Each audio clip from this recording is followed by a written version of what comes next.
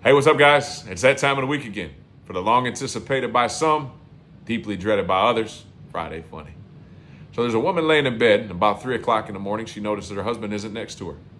She gets up to go check it out. She starts walking down the steps, and she notices him sitting at the kitchen table with a tear rolling down his face. She says, Honey, what's wrong?